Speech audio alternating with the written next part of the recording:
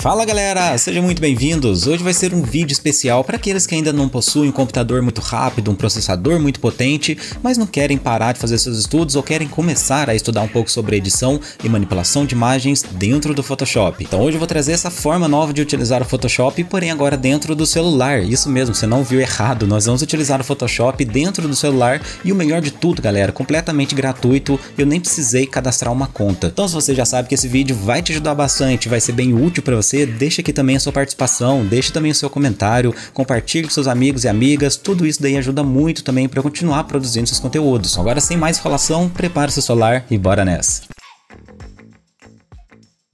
Então vamos nessa galera, já estou aqui com meus aplicativos abertos, tenho meus joguinhos, os aplicativos gerais e no meio deles então tá aqui na direita embaixo do Nubank o Photopea ou Photopia, não sei como fala o nome desse aplicativo, mas enfim, o que importa é que você vai conseguir baixar esse aplicativo pelo link que eu vou deixar aqui na descrição desse vídeo, você vai entrar no site deles e eles vão direcionar para instalar o aplicativo na sua área de trabalho, vai ficar exatamente igual ao meu. Então aqui eu já consigo abrir o aplicativo, vou clicar nele, vai ter um tempo de loading de todas as ferramentas aqui e aqui perfeito o aplicativo já abriu e eu já consigo também movimentar. Eu vejo que ele está muito pequenininho, né? Tá tudo muito apertado, mas eu já consigo então clicar na tela e arrastar aqui dentro que eu já consigo então movimentar por todo o aplicativo. Vejo que tem algumas abas aqui na direita que estavam um pouco escondido, né? Pelo tamanho da tela, mas enfim. Então por ele estar tá tudo muito apertadinho, eu vou virar o meu celular em vez do formato vertical, eu vou deixar ele agora no formato horizontal. Desse jeito então todo o aplicativo vai ficar com um zoom absurdo né? Mas eu consigo pincelar como se fosse trabalhar com zoom dentro de uma imagem,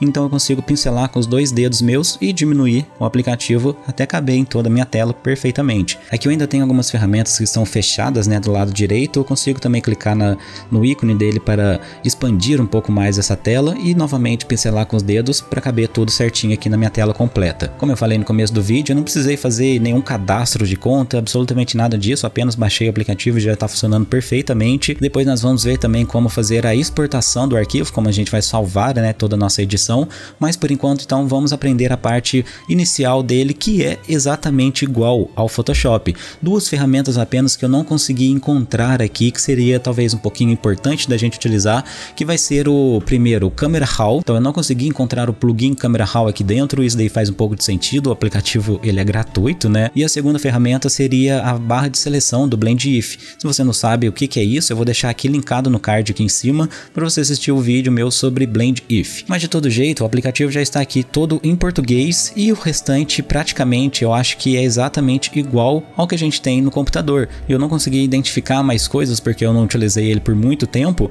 mas pelo que eu entendi ele é muito parecido, só muda algum atalho e outro, alguma forma de fazer alguma, algum ajuste e etc. Então aqui para a gente começar eu já poderia dar o novo projeto, aqui na tela central mesmo já tem a opção de clicar nele Nesse novo projeto consigo adicionar um nome e consigo também adicionar aqui alguns formatos diferentes, né? Por exemplo, aqui em tela eu posso ter o formato 2K, por exemplo, ou 4K, vou colocar 2K mesmo, poderia dar o criar aqui em cima e perfeito, então agora ele já cria para mim uma artboard no formato 2K com a tela em branca do jeitinho que a gente tem também no Photoshop. Poderia pegar aqui o meu pincel, por exemplo, ferramenta pincel, é, aumentar um pouco ou diminuir a sua dureza, o seu tamanho, escolher alguns formatos diferentes, alguma cor diferente também aqui na barra de cores, quadradinhos de cores ali, normal como a gente tem no Photoshop, e até mesmo diminuir aqui a opacidade. E o interessante é que eu tenho também aqui o slider. Eu não preciso clicar na setinha e adicionar opacidade através daqui. Eu poderia clicar no nome opacidade e arrastar o meu dedo que eu já consigo fazer a alteração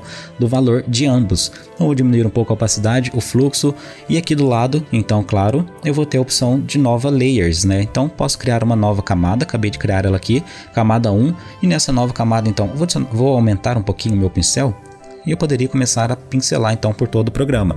Eu vejo que tem um pequeno delay, né? Então ele tem um pequeno delay quando eu movimento aqui meu dedo. É, quanto maior que for o brush, com certeza esse delay vai ser também um pouco maior mas isso daí não impossibilita que eu faça qualquer coisa que eu já faço lá dentro do programa no computador, né? Eu preciso aqui confirmar se a gente conseguiria adicionar algum outro pincel diferente baixado da internet, se adicionar a, as actions também, não sei se tem a opção aqui de actions, poderia entrar aqui em janela e conferir isso daí. Então tem aqui a opção de Actions também, eu consigo adicionar ações. Então o aplicativo ele realmente ele tá bem completo mesmo, pouquíssimas coisas que não possuem aqui diferente do computador. Eu vou deletar essa camada 1 aqui, eu quero na verdade abrir uma fotografia para a gente fazer pelo menos algum efeito aqui. Vou deletar ela então, clico e seguro por cima dela, vai aparecer a opção aqui para mim deletar e agora eu vou fechar também essa aba que eu acabei de abrir aqui no formato 2K. Então ele pergunta para mim se eu quero fechar, posso dar um OK. Agora eu vou entrar aqui em arquivo, lá no cantinho da tela e vou dar um abrir para pegar uma foto do meu celular. Aqui eu não tenho muitas fotos, né? Tomara que não apareça nenhum nude meu. Tô brincando, não tem nada disso. Mas aqui eu consigo entrar então, por exemplo, em downloads. Downloads é tudo que eu posto lá no meu Instagram e aqui eu tenho alguma fotografia. Eu vou puxar essa manipulação aqui minha e posso dar um OK. Então desse jeito aqui o aplicativo vai carregar a nossa fotografia, abrir o arquivo certinho pra gente. Consigo trabalhar com zoom aqui também quando eu estico o dedo na minha tela, porém o zoom ele é um pouco travado, eu não consigo movimentar ele proporcionalmente, ele sempre vai de etapa em etapa, mas daí não é nenhum problema pra gente. E eu quero então fazer algum tipo de efeito, eu tô pensando aqui em fazer o efeito glow, que eu já até mesmo também falei aqui no meu canal, e você pode assistir esse vídeo também aqui no link na direita do card. E pra gente fazer o efeito glow então eu preciso primeiro duplicar essa minha camada de background, então vou clicar e segurar por cima dela, e agora eu consigo duplicar camada. Então com essa minha camada agora de copy selecionada, eu posso entrar agora em filtro, em borrão e vou adicionar um desfoque gaussiano. Aqui no desfoque gaussiano eu vou decidir então pelo valor do raio o quanto que eu quero que a luz seja espalhada pela cena. Eu vou colocar um valor um pouco mais alto aqui como por exemplo 12 ou 13 o aplicativo ele acabou de travar, né, mostrando que ele realmente é uma cópia fiel ao nosso Photoshop do computador. Ele acabou aplicando o valor agora em 200, vou colocar o valor um pouquinho mais baixo, porém o processamento está um pouquinho demorado também. Para algum efeito ou outro, eu vou ter que esperar um tempinho, né, porque meu celular também não possui um processamento muito alto. Eu poderia até mesmo escrever o número 20 aqui na minha barra de valores, né, então consigo deletar também esses pixels, agora o, aplicativo voltou a funcionar. Vou colocar aqui o valor 20 e eu posso dar então o OK nesse esse meu efeito de Gaussian Blur. Certo, com esse efeito agora aplicado nessa minha camada de cópia, eu posso trocar o meu Blend Mode para Screen, que vai ser aqui em português, vai ser o tela, se eu não me engano.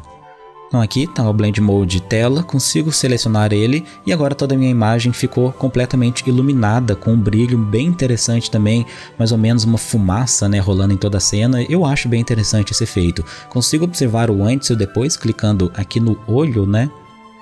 Que seria a parte de visualização da nossa camada, e agora até mesmo diminuir a minha opacidade ou meu fluxo, por exemplo, vou diminuir aqui o fluxo, que seria o preenchimento, um pouquinho aqui ó, 42, já fica interessante, vejo o antes e o depois novamente, talvez já tenha ficado bem da hora isso daqui, consigo trabalhar também com alguma máscara, né, se eu quisesse pegar uma máscara aqui agora, pegar o meu brush na cor preta, consigo selecionar a cor aqui completamente preta, vou dar um OK, o brush bem maior, né, com certeza, ele está muito pequenininho, colocar no tamanho máximo dele, que ainda é muito pequeno. Eu vou diminuir bastante aqui a minha opacidade, a opacidade aqui mais ou menos em 18, vou diminuir também o meu fluxo, então mais ou menos aqui também próximo de 18. Eu queria até mesmo esse meu brush bem maior do que ele está agora, mas eu acho que não tem jeito de fazer isso. Então, perfeito, vou utilizar esse brush aqui mesmo, eu consigo então ir limpando agora por toda essa parte aqui da máscara, né, retirando esse meu efeito de brilho que eu acabei de adicionar através da ferramenta Gaussian Blur e o Blend Mode de tela, né? Então eu consigo retirar esse meu efeito aqui da cena e dessa maneira eu vou construindo também um tipo de vinheta ao contrário, né? O programa ele tá travando um pouquinho.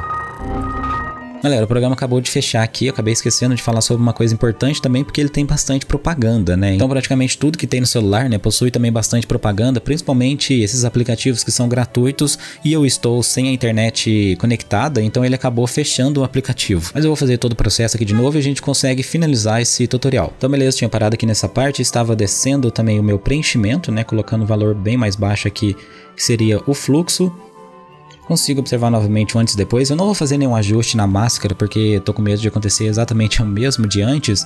E vou considerar então que esse efeito foi concluído e agora eu quero somente salvar essa minha fotografia. Então eu poderia entrar agora aqui em arquivo novamente. E aqui eu já tenho também a opção de publicar online, ou seja, já consigo publicar nesses sites que já tem também aqui pré-determinado, né, lá no Fotopeia, provavelmente tem algum banco de dados, ou então aqui em exportar como que seria a opção mais comum da gente salvar para dentro do nosso celular. Vou selecionar a opção aqui, por exemplo, JPEG, JPEG. Então agora já vai aparecer a aba de configurações para gente. Consigo colocar aqui uma qualidade, por exemplo, de 80%. Perfeito, vou clicar para fora. As dimensões da minha imagem já estão certas, consigo clicar agora em salvar. Seu aplicativo vai perguntar para a gente qual vai ser o nome que a gente quer e vou colocar agora baixar.